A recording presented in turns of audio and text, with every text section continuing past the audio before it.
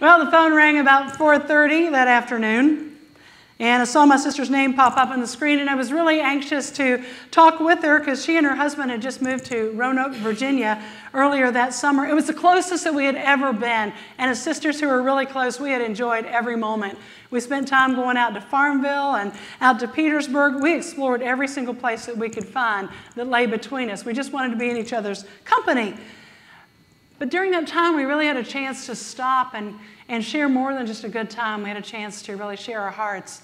And I knew that at the root of all these things that we were doing, she still needed a job. and she needed it really badly. well, Kim is a master at play. She can make any child want to learn just by the sheer fun of it. I suspect you're much like that. And she works most often with disabled children.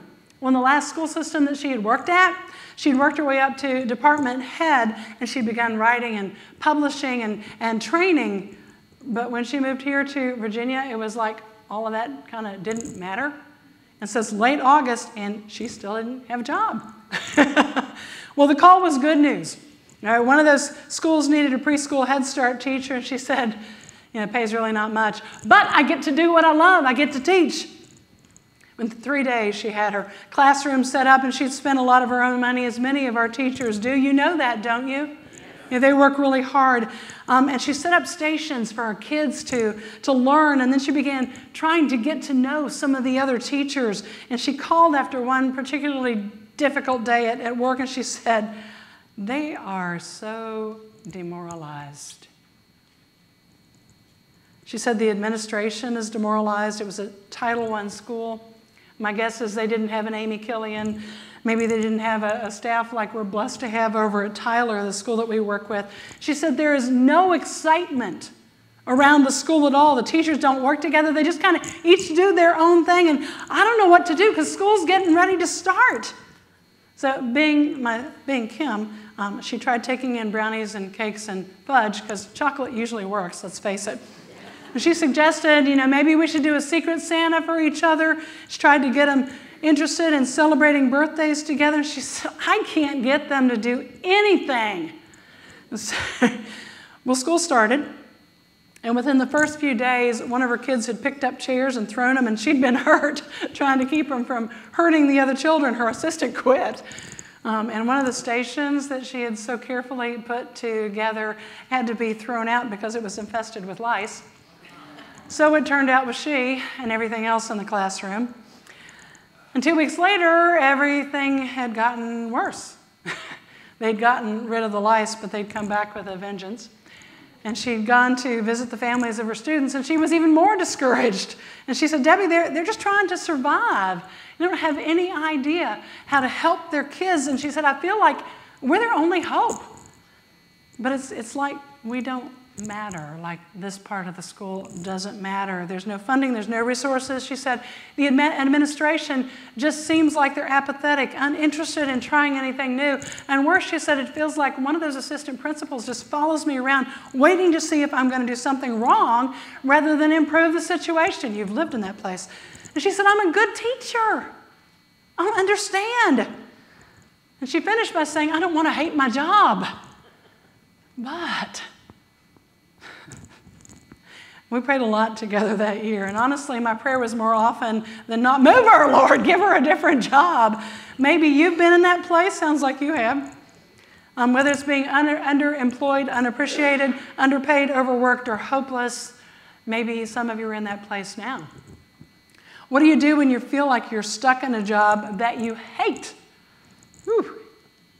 Well, if you're in that place, you're probably not alone. According to Harris Interactive, about 55% of American workers want to change careers. Absolutely. They want nothing to do with this, whatever they've been working at.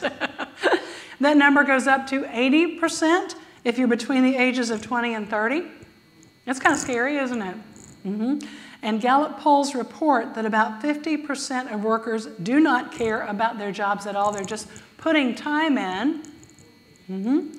And this should give you chills.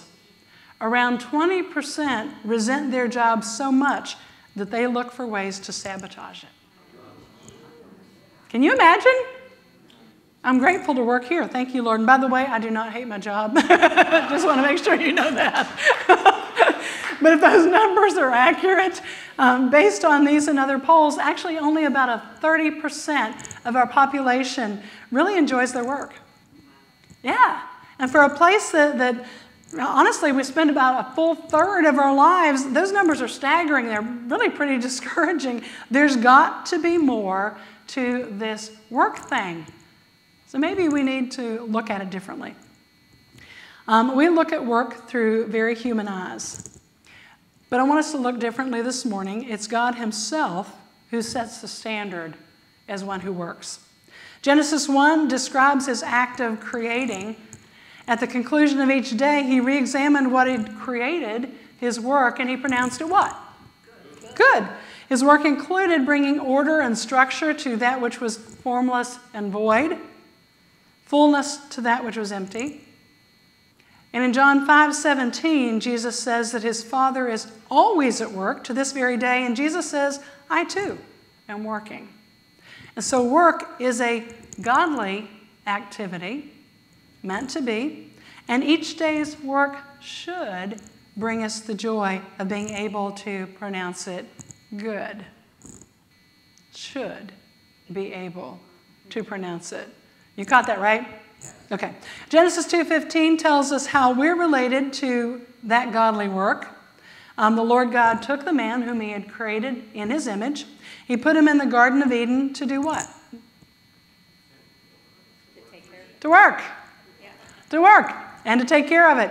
He put man there as his representative to continue the work that he had begun in bringing order to all of creation. And his direction to Adam and Eve was to be fruitful and multiply, to fill the earth, to subdue it. In other words, to bring his order to it. Does that make sense to you? Okay.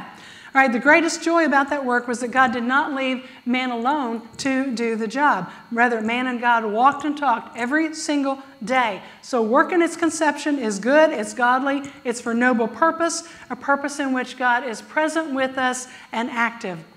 Now, some of you who know the scripture well are going to ask, well, didn't the fall of man change all that? and Genesis 3 17 through 19 does describe those effects. God says to Adam, Cursed is the ground because of you. Through painful toil, you will eat of it all the days of your life. Now, there's an encouraging statement, isn't it? Okay. Miroslav Volf, who is a theologian, explains how that affected our work. Listen carefully, because he's a theologian, and some of the words he uses, I had to stop and look up. Um, he says, together, Genesis 2.15 and Genesis 3.17 affirm that the inescapable reality of human sin makes work unavoidably and ambiguous. I didn't know what that word meant. I had to go look it up.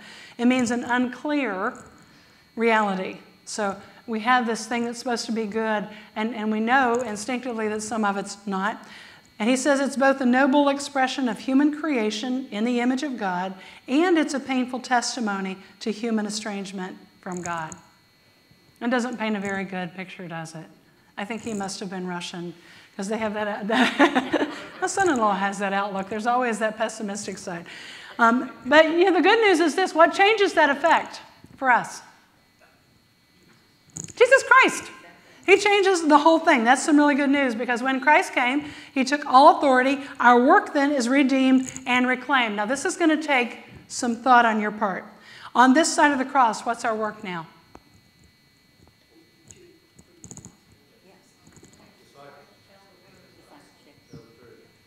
Okay? You're good.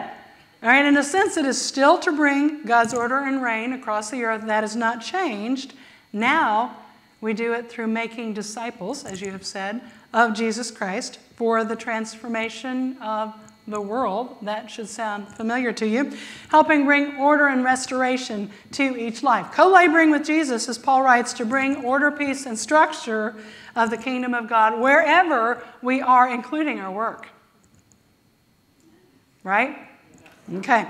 We pray that every time we pray the, the Lord's Prayer. Think about it. Your kingdom come, your order, your structure, your peace, your will be done on earth, wherever, even in our workplaces, as it is in heaven. That's a lot to think about, isn't it? All right. Now, if you're not a Bible nerd, you have about 30 seconds to reflect on that while I talk to the Bible nerds among us. All right. Bible nerds, you might be interested to know that the term that we use as apostle in the church, meaning one who is sent, was actually used by the Greeks and Romans in a little bit different way. That term was in use during that same time period, and so we can help take that idea of what an apostle is and our understanding of what an apostle is from this understanding as well. Listen carefully. To them, an apostle was one who led a group in the assignment of bringing the culture of the victorious country to the country that had just been conquered. Think about that. The culture of the conquering country to the country that's been conquered. What did Jesus do? He took back authority on the earth. The conquering authority came to earth. And the reason they were to do so was so that the ruler would feel as much at home there as he did in his home country. Yeah. Thy kingdom come, thy will be done on earth as it is in heaven. That's still our work, then, isn't it? To bring God's order, his peace, and his structure. And so if you've zoned out, come back. Now, some of you are going to say to me, I thought you were going to talk about my work. Well, I am. Because we so often separate the work of God from our daily lives. We term some things sacred and some things secular as if what we do in here on Sunday morning has no bearing on what we do the rest of the week. Is that true? No. No, we're to live, as Romans 12 says, all of our lives as an offering to the Lord. And so everything about our lives then is, including our work, is sacred, isn't it? I knew you knew that. Ecclesiastes 5:19 says that when God enables a man to be happy in his work, that this is a gift of God. I don't think he meant that just 30% of the population was to be happy. I really don't think that means that. So, how can we be happy in our job, especially when we're underemployed, unappreciated, underpaid, overworked, hopeless, and so on? Colossians 3 23 through 24, that you heard read a moment ago, gives us a way to change our attitude, doesn't it? Whatever we do, we should do it for the glory of the one who made it, made us. Even if we don't like our job, put our very best effort working as if we are working for whom? God Himself. Now, the monetary rewards and the benefits of our job, both the ones we like and the ones we don't like, um, will all pass away one day. But this passage reminds us that in the meantime, we're not just working for earthly rewards, but rather we're working for eternal purposes, aren't we? God's reward. And those will never, ever pass away, will they? The second way is to remember our identity and calling. Our work as a people of God is to be at work at His representative wherever we are, continuing His work of bringing order and structure and peace to every sphere of influence. Now, does that mean promotion or a better job or better pay? Perhaps. Proverbs 22 29 says that someone who is truly skilled in their work will serve before kings, not before lesser officials. But does that mean that the job is going to be all kinds of wonderful? Yeah, maybe, maybe not. Think about Joseph, sold as a slave in Egypt. He's described as one who stewarded his master's wealth and his household as well. In fact, the scripture says that his master didn't have to worry about anything with Joseph in charge. What was Joseph's promotion? Prison. but listen to the description of his work in prison. The warden put Joseph in charge of all those held in prison, and he was made responsible for all that was done there. The warden paid no attention to anything under Joseph's care. He didn't have to, because Joseph worked with integrity wherever he was, bringing godly order, even recognized by those who were keeping him captive. Here's the best part is Joseph did these things first for his master and then for the prison warden. The scripture says the Lord was with Joseph and he gave him success in whatever he did. Now you know how Joseph's story turns out. We might not end up being second in command, but how does that then apply to our lives? Well, there's always a way that we can help bring order, even if it's to a small bit of our work environment. We can choose to work with integrity, can't we? That way, when we look back at the end of the day, we can be happy with what has been done. And we too can say, it was good. It was good. And there's a further effect. I don't know how many of you read Bill Johnson. Sometimes he's way over my head too. But he calls the communal result of doing those things a greenhouse effect, meaning that as we each live and work as God's representative, that it changes the very atmosphere around us. Would you like for the job, for the atmosphere around your job to change? Third, consider what God might want to do in that workplace. I don't know if this is God or this is Deborah, and I'll tell you this, but I've often wondered um, if God didn't entrust some of his most difficult workplaces to those that he could count on to truly labor for the master from the dawn to setting sun.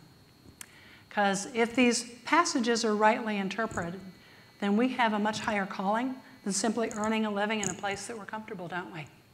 Mm. Jesus says in Matthew 20, 26 that whoever would be great in the kingdom of God must become a servant to all. We often think of becoming a servant as a demeaning role, and yet Philippians 2 says that Christ himself took on the nature of a servant in order to fulfill the purposes and the plans of God.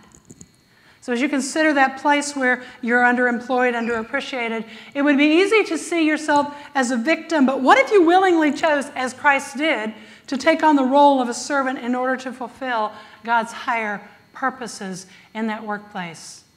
Do you think it might make a difference? Finally, consider the accounting. In the parable of the talents, every servant of the master is called to account for how he or she has used the resources that she's been or he has been given. So will ours. In the workplace, it's easy to focus on the skills and the talents we have. For the last several weeks, we've been talking about these other the resources that we have within us, haven't we? The spiritual gifts. Could those be used in your workplace for a common good? You bet. How about the fruit of the Spirit? Love, joy, peace, patience, kindness, goodness, faithfulness, gentleness, and self control. How might those things aid in your workplace? So you've been given skills and resources far greater than the norm, and we're going to be held accountable for how we use those. Would it be a good idea maybe to use those in the workplace? Whew, I want to hear, well done, good and faithful servant at the end of the day. How about you? Mm-hmm. That's a lot to think about, isn't it? Yeah. Let me tell you the rest of the story. After a year at that school, my sister got a new job in the best school district in the city. And she was so excited because they had so many resources, their test scores were out of sight. And a few months into it, she was wondering if she had anything to offer that school. now, she's not perpetually unhappy. I don't want to leave that idea with you. so, a year later, she transferred again. You'll never guess where she transferred to. Back to that other school, to that place where it was so difficult. But this is what happened. Every teacher that she had worked with talked about the difference that her presence had made, that they recognized when she was gone. Even the administration that had seemed so apathetic was now open to new suggestions and ideas. So she began working with the teachers, helping them work together to create new learning opportunities in their classroom. They identified resources that the school couldn't afford to give, and they put those projects out on Donors Choose so that those kids had what they needed, even though the school system couldn't afford it. And together, with the help of that assistant principal, who didn't like her very much, they worked to take a courtyard that had been long neglected, and with their classes in a great new learning experience, they made it a place of beauty. By the time she and Jeff moved again, that school was an entirely different place. Is it always going to turn out like that? Probably not. and sometimes the godly option is to leave. We're going to be talking about how to discern those things over the next few weeks. But if we put those things into the practice, at the end of the day, we can look back at our work and we can pronounce it good no matter what's going on in the workplace, can't we? If we work with everything we have, we can know the pleasure of the Lord as we work with His attitude and purpose in mind, and we can experience the joy of His presence as He leads us. And who knows what else might happen? Because sometimes it just takes one. Amen? Amen. Amen.